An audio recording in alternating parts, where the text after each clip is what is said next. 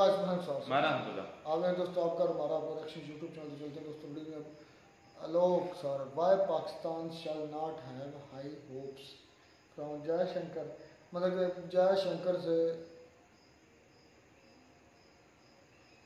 क्यों ज़्यादा उम्मीदें नहीं रखनी चाहिए हमें? देखते हैं क्या वजह है हमें तो कोई उम्मीद नहीं है पता नहीं गवर्नमेंट रखती है।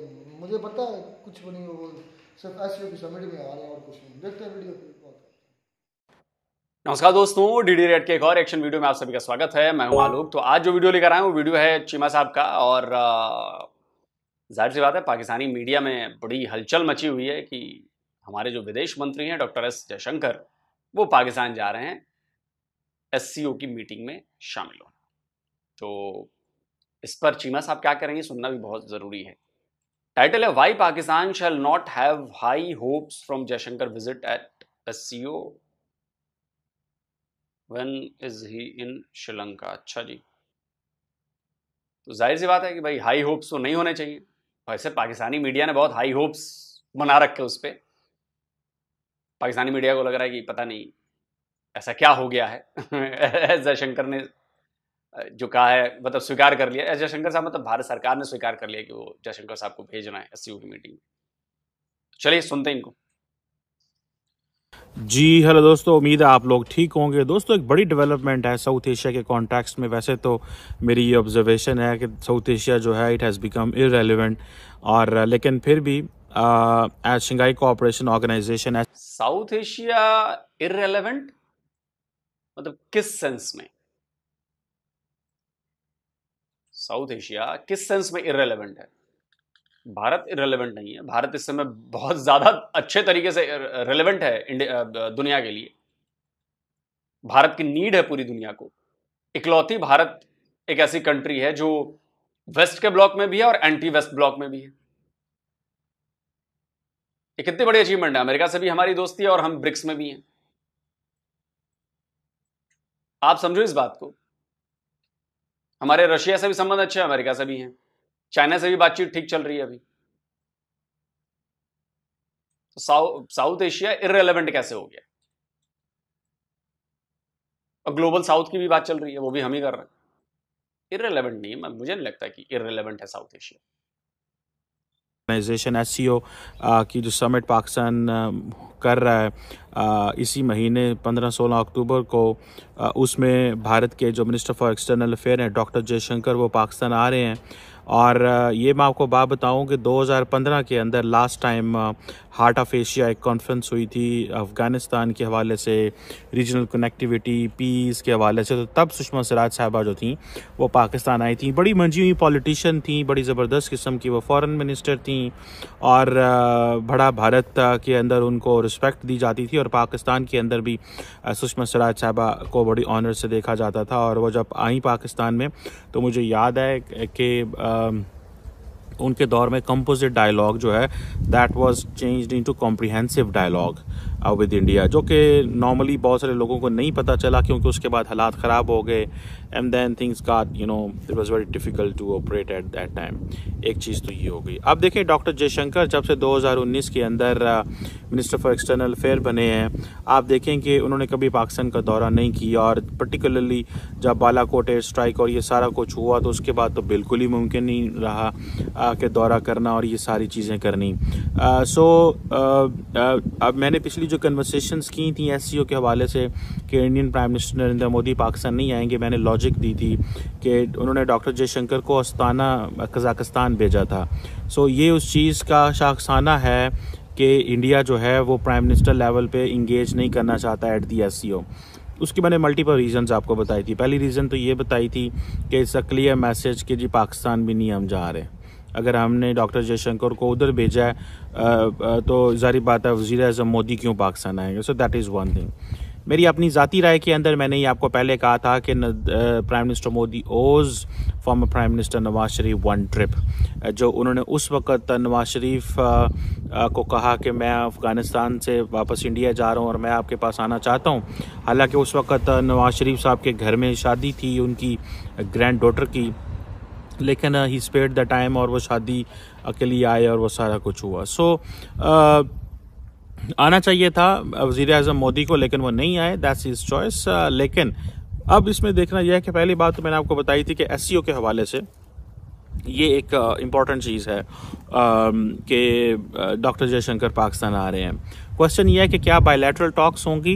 That's an important question will the Pakistani foreign minister engaged and meet Indian foreign minister, minister for external affairs, that's important thing क्या पाकिस्तान के प्राइम मिनिस्टर से तो नहीं कोई मुलाकात होने वाली? हो सकता है पाकिस्तान के वज़ी अजम को ख़ास पैगाम दें जयशंकर को लेकिन इस वज़ी अजम साहब ने बड़े ख़ास पैगाम भेजे हैं लेकिन भारत की तरफ़ से किसी किस्म को कोई पैगाम नहीं आया कोई रिस्पॉन्स नहीं आया. सो अ पॉइंट कि जिसमें ये कहा जा सके कि जो ज, आ, इंडिया की हुकूमत है वो रिस्पॉन्ड नहीं करने जा रही।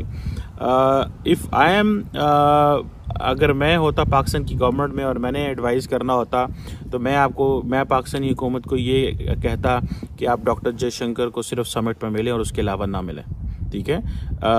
उसकी वजह क्या है? उसकी वजह यह है कि the question is that first doctor Jaishankar is not coming bilateral visit पे नहीं आ रहे वो एक मल्टीलैटरल विज़िट पे आ रहे हैं। दूसरा जो डॉक्टर जयशंकर हैं वो uh, एक ऐसी चीज़ में आ रहे हैं जिसमें वो समझते हैं कि uh, हमें uh, एक, एक ये कोई वो सिग्निफिकेंट उस तरह उनके लिए नहीं है। सो फॉर एग्ज़ाम्पल अगर एक वज़ी ख़ारजा एक मुल्क आना चाह रहे हैं uh, तो वो हमारे पास इसलिए आ रहे हैं बिकॉज़ कि एक मल्टी लैटरल कन्वर्सेशन के लिए आ रहे हैं। Is not coming for any bilateral conversation so and then आप थोड़ा सा पहले चले जाएँ तो डॉक्टर जयशंकर की जितनी भी स्टेटमेंट्स नहीं है माजी के अंदर उन तमाम स्टेटमेंट्स के अंदर वो पाकिस्तान के साथ था बड़ी टफ लाइन लेते रहे हैं। हम पाकिस्तान नहीं जाएँगे हम बात नहीं करेंगे।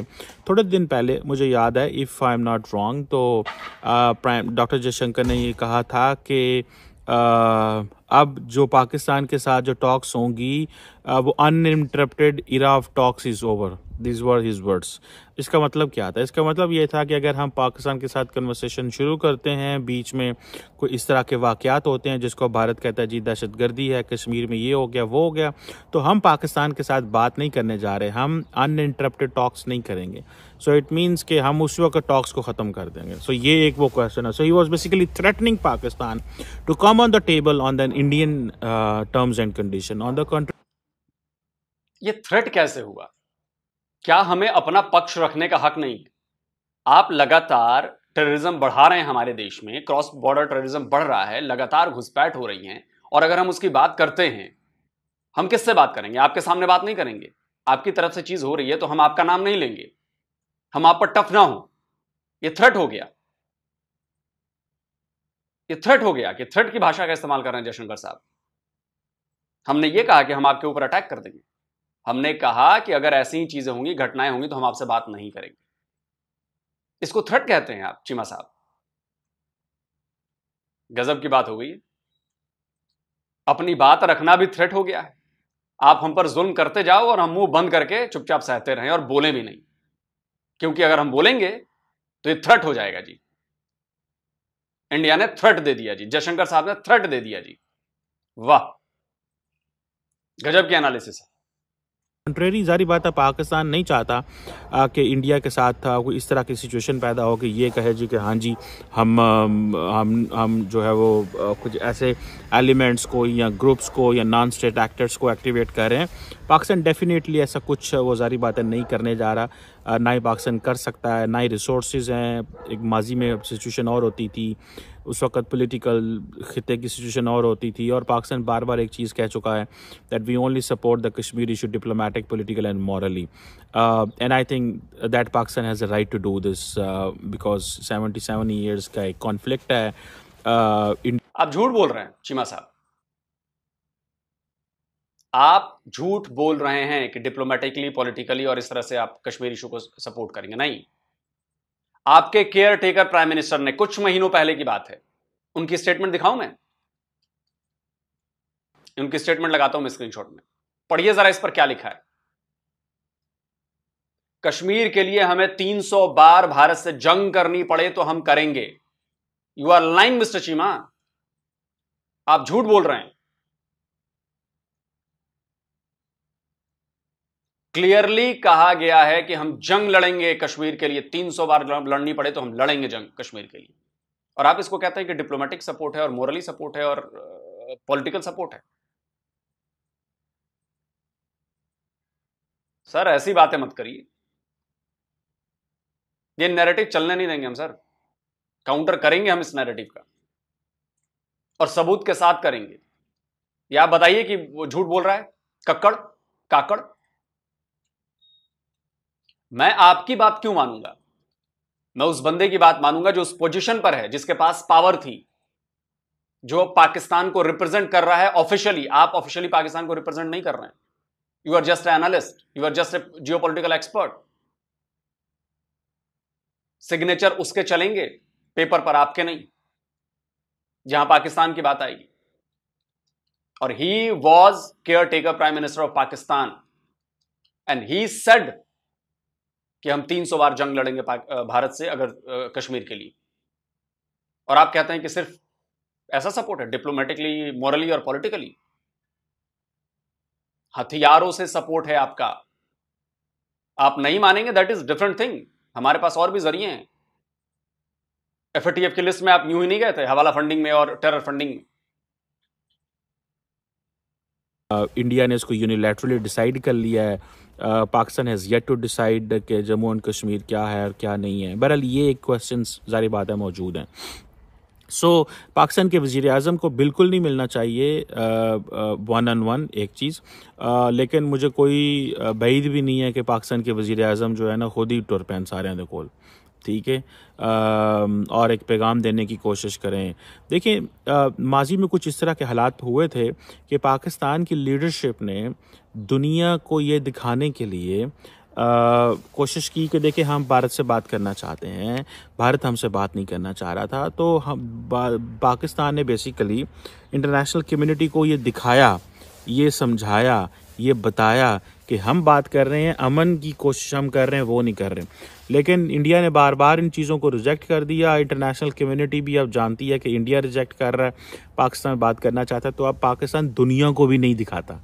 पहले पाकिस्तान दुनिया को दिखाता रहा है फॉर फ्रेंकली स्पीकिंग कि हम ये करेंगे वो करेंगे और इस तरह और उस तरह। सो so, मुझे ऐसा लगता है कि ये सारी चीज़ें जो हैं they are going to happen in coming years जो भी चीज़ें होनी है। सो so, इसमें कोई बहुत बड़ी चीज़ uh, मैं नहीं देखता कि ये होने वाली है। सो so, एक uh, वो जो इंटरनेशनल चीज़ पाकिस्तान करना चाह रहा था वो भी ख़त्म हो चुकी है। इंडिया का बायलैटरल क्लाउड इतना ज़्यादा है कि कोई मुल्क जो है वो इंडिया की पंजाबी के अंदर चाल नहीं चलता पाया। एवरीबॉडी नीड्स इंडिया हर एक को इंडिया की ज़रूरत है। चीन को इंडिया की ज़रूरत है। वाई बिकॉज़ उन्होंने कारोबार करना है। सौ बिलियन डॉलर इम्पोर्ट इंडिया चीन को भेजता है। सौ अरब डॉलर इंडिया चीन को भेजता है। कोई मज़ाक नहीं है ये चीज़। तो सौ अरब डॉलर अगर जा रहा है चीन को और भेज रहा है चीन को तो आप इससे अंदाज़ा लगा लेंगे ये कितनी इम्पोर्टेंट चीज़ है। तो चीन के लिए वो लदा है। लेकिन मैं थोड़ा शंघाई कोऑपरेशन ऑर्गेनाइजेशन के हवाले से बात करूँ तो प्राइम मिनिस्टर मोदी लेवल पे शंघाई, इसका ना आना डिस्कशन ना होना, इसकी क्या नाम है जो ये है वज़ीर अजम मोदी का ऐसी कॉन्फ्रेंस में ना आना there is a message the message is that any forum which belongs to China any forum where China has a dominance और any forum where China has an upper hand we are not going to be part of part of that but remember Shanghai cooperation organisation हो या BRICS हो they are largely anti west blocs हैं और India जो है वो anti west block का हिस्सा है। आ, इंडिया वैसे एक बात और मैं बता दूँ। भारत की जो रणनीति है वो ये है कि वो ब्रिक्स को मज़बूत कर रहे हैं क्योंकि वहाँ पर रशिया है चाइना है इंडिया है ब्राज़ील है साउथ अफ्रीका है शायद साउथ अफ्रीका ना हाँ। और वो एससीओ को कमज़ोर कर रहे हैं। तभी पाकिस्तान चाहता है कि वो ब्रिक्स में शामिल हो जाए। पॉइंट समझो सर हम क्यों एस को इतना ज़्यादा भाव नहीं दे रहे एस को स्क्रैप करवाना है। या एस को ऐसी जगह पहुँचा देना है जैसे सार्क पहुँच गया है। जो महत्वहीन हो, जिसका कोई महत्व न रह जाए रेलेवेंस न रह जाए। और एक वो मल्टीलैटरल प्लेटफॉर्म है, पाकिस्तान जहाँ पर है तो भी चाइना की बदौलत। वो भी आप इस पॉइंट को समझो सर वो भी घुस जाएगा एस मेन है ब्रिक्स वहाँ पर पाकिस्तान की फ़िलहाल तो एंट्री नहीं हो रही। फ़िलहाल तो एंट्री नहीं हो रही। वो बीच में पता है ना क्या हुआ था?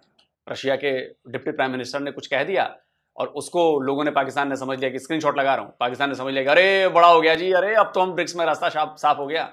अगले ही दिन रशिया के उस बंदे का बयान आया, डिप्टी पीएम का। बोला कि नहीं नहीं, मेरी बातों को गलत समझा गया। इसको ये बिल्कुल मत सोचिए कि रशिया जो है सपोर्ट कर रहा है कि वो ब्रिक्स में आ जाए पाकिस्तान। बिल्कुल। पाकिस्तान को अपनी हैसियत बनानी पड़ेगी, अपनी औकात बनानी पड़ेगी ब्रिक्स में शामिल होने की। तब हो। और मेरी समझ ये कहती है कि भारत चाहता है कि एससीओ स्क्रैप हो जाए। इरेलीवेंस हो जाए। इरेलीवेंट हो जाए।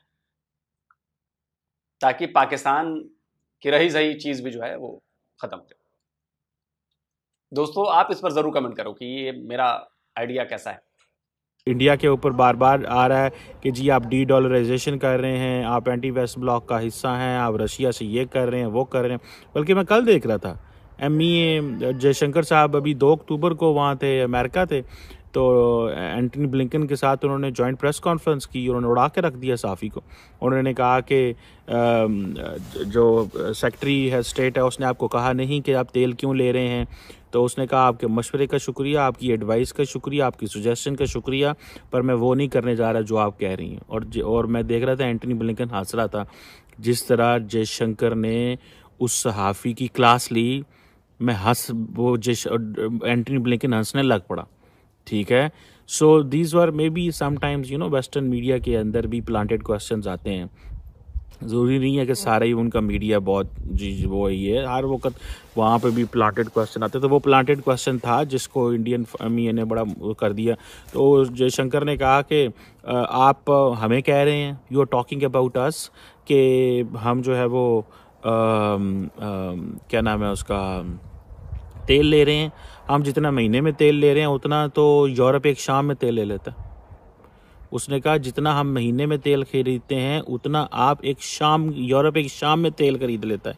इन एन इवनिंग बिस्ती करती होने के तो पहले अपना जब तेल सप्लाई बंद करो या फिर सानों को। सो ये चीज़ें हैं। सो वो जो ग्लोबल होता था ना इन्फ्लुएंस वो ख़त्म हो गया है इंडिया के ऊपर। मैंने इसको बड़े फोरम पे हाईलाइट किया है। कई सारे ममालिक हैं वेस्टर्न ममालिक वो मानते कहते हैं, नहीं नहीं, हमारा अभी भी इन्फ्लुएंस है, ये वो कोई इन्फ्लुएंस नहीं आ पाया ना इंडिया के उत्ते। मनने वाली गल है। मैंने आपको पहले कहा था, अगर किसी मुल्क का इन्फ्लुएंस इंडिया के ऊपर है तो वो यू है। In courtesy in so many ways you has more capability to influence India than any country in the in the world at the moment उसकी सारी बात है, मैंने माजी में बहुत सारी चीज़ें डिस्कस की हुई हैं। सो ये एक चीज़ है। सो सुषमा स्वराज साहब हार्ट ऑफ़ एशिया के लिए यहीं प्राइम मिनिस्टर मोदी आए तो उस तो बाद कोई नहीं। मोदी साहब तो हाथ ला के तो टुर गए, कुछ घंटे वास्ते और वक्त पै गया सानू, ठीक है? सो द क्वेश्चन इज़ मैं मैं ज़ाती तौर पर ये समझता हूँ कि प्राइम मिनिस्टर मोदी जो है, वो he has got sufficient excuse not to engage with Pakistan so यहाँ पे कोई खुशी बजाने की वो ढोल बजाने की ज़रूरत नहीं है। जयशंकर पाकिस्तान आ रहे हैं। जयशंकर साहब ना आपसे बात करेंगे, ना डायलॉग करेंगे और मेरा ख्याल ये है होता ये है कि समटाइम्स एजेंडा तय होता है। हाँ जी, वो होगा क्या कि शाम चार बजे, पाँच बजे, तीन बजे, दोपहर को दो बजे वो आएँगे, अगले दिन वो सुबह चले जाएँगे। दो दिन हो गए जी पूरे। ठीक है जी। वो जितनी देर का एस का एजेंडा है, उतनी देर के लिए जयशंकर आएँगे। उससे ज़्यादा वो नहीं आएँगे। और और अब देखना यह है कि क्या जयशंकर उतनी टफ बात करेंगे, उतनी मुश्किल बातें करेंगे, उतनी सख्त पाकिस्तान के खिलाफ बातें करेंगे जितनी उन्होंने अस्ताना में की थी। लोग लोगों ने अस्ताना कवर नहीं किया था, मैंने कवर किया था कि वहाँ डॉक्टर जयशंकर ने सीधा सीधा पाकिस्तान पर इल्ज़ाम लगाए थे। टका के और मैं आपको मज़े की बात बताऊँ, अब ये एस का प्लेटफॉर्म ऐसा है कि you just can not settle your bilateral score here. So for that matter, you have to engage on shared interests and in challenges which all the member countries are facing. For instance, uh, तो चीमा साहब तो फिर जो बिलावल भुट्टो आके करके गए S की meeting में भारत में कश्मीर का ज़िक्र किया बहुत सारी चीज़ों का ज़िक्र किया वो क्या था फिर मतलब हम करें तो जी हमने बहुत बढ़िया काम किया तुम मत करना यार नहीं ये तो मतलब एजेंडे का हिस्सा नहीं है ऐसा कैसे हो सकता है और जयशंकर साहब बड़ी बड़ी ताकतों के आगे ठोकने से नहीं बाज आए। यूएन में ठोका ना, पाकिस्तान को। तो मौका मिला तो पाकिस्तान में भी ठोक देंगे पाकिस्तान को। आप देखिएगा। वो हल्के से प्यार से मुस्कुराते हुए बहुत ही सोफोस्टिकेटेड भाषा में वो ऐसा लगा जाएँगे पाकिस्तान को कि उसकी जलन जो है वो आगे कई बरसों तक याद रखेगा पाकिस्तान।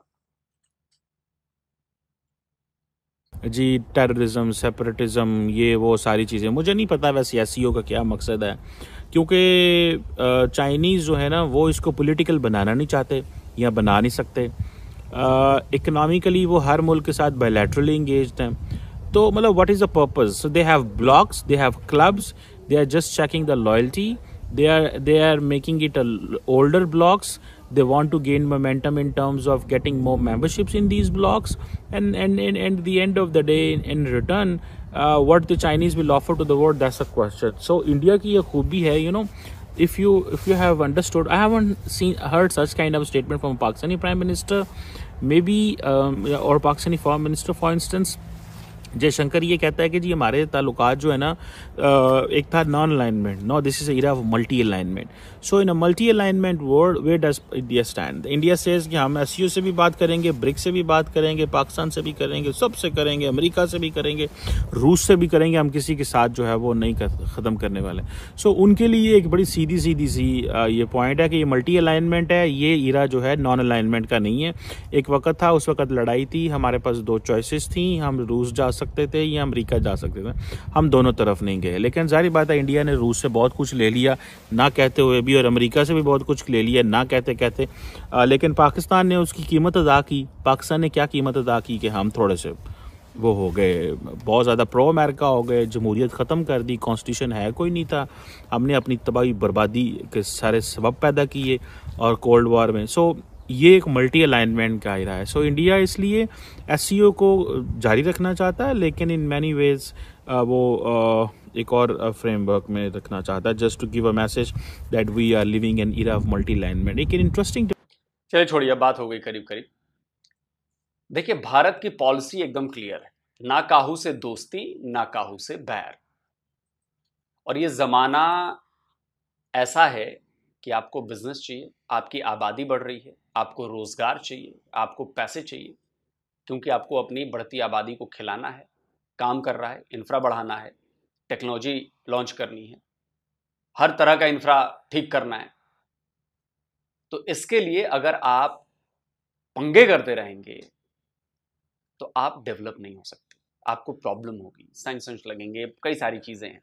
इसलिए आप अगर पिछले मतलब मैं कहता हूँ कि भारत को शुरू से आप अगर देखेंगे तो भारत ने हमेशा वो लाइन ली है जिसका फ़ायदा हमें मिले और जिससे नुकसान ना हो। फिर वो चाहे रशिया से दोस्ती हो चाहे अमेरिका से आजकल दोस्ती चल रही है। हम तो दोस्त नहीं कहते हम तो पार्टनरशिप कहते हैं। आ, भाई उसको हमारी ज़रूरत है हमें उसकी ज़रूरत है। दोस्ती रशिया और भारत की। या दोस्ती जैसा कि इन्होंने कहा कि भारत और यूएई की है। जो चीमा साहब ने बात कही है ना, ये बड़ी ज़बरदस्त बात है। आपको पता नहीं कितने लोगों को इस बात का एहसास है कि यूएई और भारत की जो दोस्ती है, बहुत तगड़ी है। और वो इतनी मज़बूत है और इतनी उसका उसका उसका इन्फ्लुएंस बढ़ रहा है धीरे धीरे लगातार। अगर आप मिडिल ईस्ट कॉरिडोर की बात करेंगे तो उसमें यूएई एक मेजर प्लेयर है और भारत एक मेजर प्लेयर। है और ये कॉरिडोर मिडिल ईस्ट से लेकर एशिया और उधर यूरोप इतिहास लिखने वाला है, इतिहास। आप लोग मेरी बात याद रखिएगा। जिस दिन ये मिडिल ईस्ट कॉरिडोर कंप्लीट हो जाएगा, उस दिन इतिहास बन जाएगा और वो भारत और यूएई के संबंधों की सबसे बड़ी निशानी होगी, जो सदियों तक, युगों तक याद रखी जाएँगी। बाकी मज़ा आएगा जयशंकर साहब जब वहाँ पे जाएँगे और कुछ तो ऐसा हो जहाँ पे वो सुना गया है पाकिस्तान में तो बड़ा मज़ा आएगा। बाकी कमेंट करके आप बताएँ, आप क्या कहते हैं? जल्दी मिलता हूँ, एक तो ये दोस्तों वीडियो होगी खत्म। पहली बात तो ये है कि ये एक खुशाइन बात है। कि बड़े ही अरसे बाद, पंद्रह साल बाद आई थिंक। या शायद इससे भी ज़्यादा ऐसा कोई इंडियन डिप्लोमेट चाहे वो फॉरन मिनिस्टर है या कोई भी है, वो पाकिस्तान में विज़िट करने आ रहा है। विज़िट तो नहीं खा इसको कहा है। वो ऐसे समिट हुई है कि पाकिस्तान की धरती पर वो ज़मीन रखने लगे इंडियन और इतने बड़े अहदे के फिर दुनिया में माने जाने वाले, दुनिया के टॉप रैंकिंग वाले डॉक्टर जयशंकर फॉरन मिनिस्टर माने जाते हैं। वो पाकिस्तान में आ रहे हैं। तो ये वैसे मौका है। बाई लैटरल तो फिर हमारी मीटिंग हुई नहीं है। बाई लैटरल होती, फिर चले कोई किसी बात पर शायद कोई बात होती। बाई लेटर कोई आई थिंक मुझे नहीं लगता कोई बाई लेटर मीटिंग होगी इंडिया और पाकिस्तान के वजरा के। पता नहीं शेड्यूल है। मतलब मैं भी नहीं होगी ये तो मेरी क्या क्या सराही है ना प्रिडिक्शन है कि शायद हो जो लेकिन हाँ अगर होती बाईलैटरल ये शेड्यूल जिस तरह चीमा साहब कह रहे हैं, पाकिस्तान के लिए बड़ा फ़ायदेमंद है। पाकिस्तान के लिए बहुत सुनहरी मौका था ये। लेकिन उसके बरक्स पाकिस्तान का ये भी मौका है पाकिस्तान उस वक्त धरने चल रहे हैं एहतजाज चल रहे हैं। उस इस्लामाबाद के अंदर जहाँ ये मीटिंग होनी है, ये भी खतरे की घंटी है। इसलिए तो रियासत पूरे ज़ोर के साथ इसको पसपा करने लगी है, इस एहतजाज को। हाँ बिल्कुल ये है। अच्छा अगर फ़र्ज़ कर लें कि आ जाते हैं ना, फ़र्ज़ कर लें कि पाकिस्तान के फॉरेन मिनिस्टर के साथ इंडियन फॉरेन मिनिस्टर पाकिस्तान में अगर बातचीत करते हैं तो क्या आपको लगता है कि हालात पहले से कुछ बेहतरी की तरफ़ जाएँगे? हो भी सकता है। ये अगर जर्मनी की दीवारें गिर सकती हैं, अगर यूरोप सारा एक हो सकता है, जो एक दूसरे के दुश्मन थे जिन्होंने एक दूसरे पर हमले किए हिटलर ने कब्जे किए हुए हंगरी पर सब पर एक दूसरे तो ये क्यों नहीं हो सकता? हाँ ये कौन सा इन्होंने दीवारें बनाई? ये बात तो बिल्कुल वाजह है। जर्मनी की दीवारें बन गई थी ना नॉर्थ जर्मनी साउथ जर्मनी बन कर फिर वो दीवारें गिरी हैं बर्लिन की। तो और आज देख लें कि-? आज देख लें कि यूरोपीय यूनियन बना हुआ है। एक यूरोप की कंट्री का पासपोर्ट हो तो आप सभी कंट्री में पहुँच सकते हैं। ऐसे। ट्रेनें चलती हैं। हाँ। बसें चलती हैं एक ऐसे जैसे शहर है। हाँ शहर एक शहर से हाँ। उसी से। और पाकिस्तान और इंडिया का भी ऐसा हो सकता है अगर इंडिया चाहे और पाकिस्तान खास तौर पर चाहे तो। जो पाकिस्तान कह लें कि पाकिस्तान की तरफ़ से बॉर्डर क्रॉस जो दावा करते हैं इंडियन के टेररिज्म होता है अगर उसको वाकई रोक दिया जाए और पाकिस्तान की आर्मी जो है इस मामला में मुलवस ना मैं बताऊँ हो सकता है हर एक में खामियाँ होती हैं बुराइयाँ। कौन सा ऐसा मुल्क नहीं है कौन सा ऐसा फर्द नहीं जिसमें कमियाँ कुताइयाँ नहीं है? सभी इंसान मैं बताऊँ ओवरऑल अगर मैं चेक करूँ मैं बैलेंस करूँ इंडिया और पाकिस्तान का चेक करूँ हम्म। तो इंडिया का दिल फिर भी बड़ा है बड़ा पानी में मैं ये बात आप मज़ाक में ले मैं ये जैसे मैं उनका फिर भी बड़ा पाना है। कई मामला में मैंने देखा है उनका फिर भी हमारे मामले में हमारे मुकाबले में उनकी सोच फिर भी हमारी कहीं ना कहीं पॉजिटिव है। लेकिन हमारी हमारी अब सोच अच्छी डेवलप हो रही है। ये जो यूट्यूब की वजह से रोड शोज़ की वजह से, अब इतना कोई चंद इक्का दुक्का लोग ही पाकिस्तान के जो है इंडिया के खिलाफ बोलते हैं। काफ़ी लोग बदल रहे हैं। आप देख रहे हैं कि हमारा गाँव ही है। इसमें ही अब हमारी तीन, चार, पाँच, दस लोगों की सोच चेंज हो गई तो हमारी वजह से पूरे गाँव के लोगों को चीज़ें पता चलती हैं, सबूत मिलते हैं चेंज होती हैं चीज़ें। तो ये थोड़ी बहुत ही बात नहीं है जो लोग कहते हैं मैं क्यों कर रहा हूँ काम। वाकई वो बड़ा काम कर रहे हैं। उन्होंने एक अंदरूनी सोच में तो तब्दील की है हमारे पाकिस्तान के लोगों की। काफ़ी हद तक लाहौर में काफ़ी लोग हैं जो पाकिस्तान में मेरे एरिया में देख रहे कितने यंगस्टर्स हैं। वो इंडिया को अच्छा मानते हैं। यार, बुरा किसी को भी नहीं मानना चाहिए। मानने से क्या होगा? कुछ भी नहीं होगा। अपनी सोच खराब होगी, अपना कह लें कि खुद को इंसान बुरा करेगा सोच जो है ना, किसी के लिए भी, ये सभी के लिए पॉजिटिव रखनी चाहिए सभी के लिए।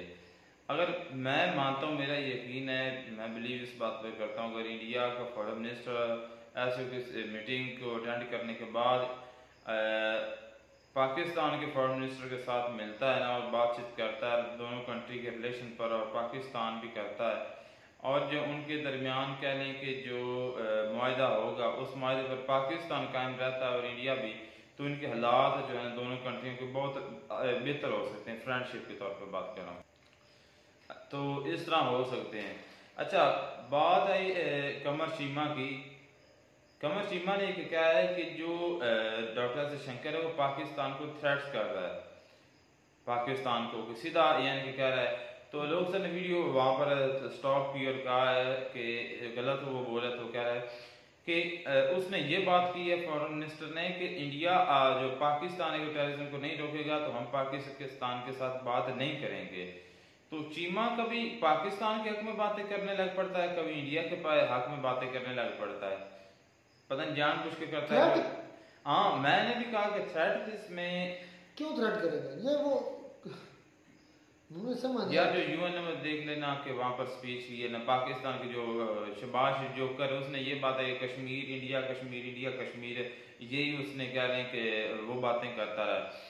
तो उस पर उसने बात की थी ना जब आज़ाद कश्मीर की और गिलगित बल्तिस्तान की कि ये हमारा हिस्सा और हम इसको लेंगे। तो शायद इस वजह से भी कह रहे हूँ कि इस वजह से भी और दूसरा जो है ना वो पाकिस्तान का ज़्यादा नाम भी नहीं लेते हैं। पड़ोसी मुल्क कह देते हैं नेबर कंट्री कह लेते हैं। इस वजह से भी हो सकता है कि उन्होंने ये बात की है। अलोक सर ने एक थोड़ी सी बात आई, फिर वो कह कर दी, आप, मैं देखने को, मुझे भी थोड़ा सा वो बात सुनकर गुस्सा आया कि हम अगर चाहें तो पाकिस्तान में पाकिस्तान को भी ठोक कर आ सकते हैं। फॉरेन मिनिस्टर की बात की, जब वो बिलावल भुट्टो की बात कर रहे थे ना, कि बिलावल भुट्टो आया था, उधर स्पीच की उसने यूएन में उधर मोदी के खिलाफ और इधर आ गया, फिर जो है ना इंडिया में। तो हम चाह चाहें तो पाकिस्तान में जाकर पाकिस्तान को ठोक सकते हैं। तो फिर देर किस बात की भाई? आ जाओ आप तो कश्मीर कश्मीर कर रहे हो ना? मतलब कहते हो कि आज़ाद कश्मीर कश्मीर कौन कर रहा है? पाकिस्तान करता है लेकिन अब कश्मीर जो है ना अपना चूरन उधर गवर्नमेंट भी बेच रही इंडियन गवर्नमेंट भी। तो आज जो आप पावर से भी हम हर लिहाज से आप हमसे आगे मैं मानता तो हूँ यार वो उनके कहने का मकसद ये था कि ये जो मौकफ है हमारा कश्मीर को लेकर और पाकिस्तान को लेकर स्पेशली क्रॉस बॉर्डर टेररिज्म को लेकर, पाकिस्तान को करवाता है, वो हमारा मौकफ नहीं बदलेगा, वो हम उधर भी यही मौकफ ही रखेंगे। उनके कहने का मकसद ये था, आप समझ रहे हैं।